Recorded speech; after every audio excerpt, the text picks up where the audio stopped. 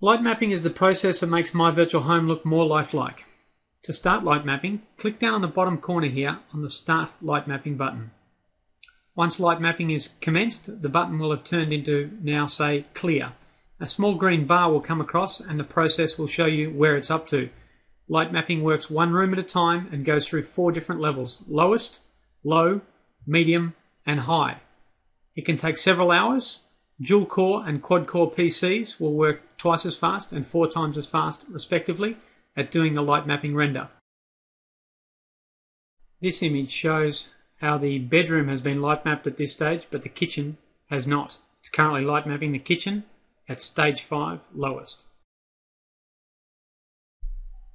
As you can see when fully light mapped, shadows and reflective values are a lot more lifelike.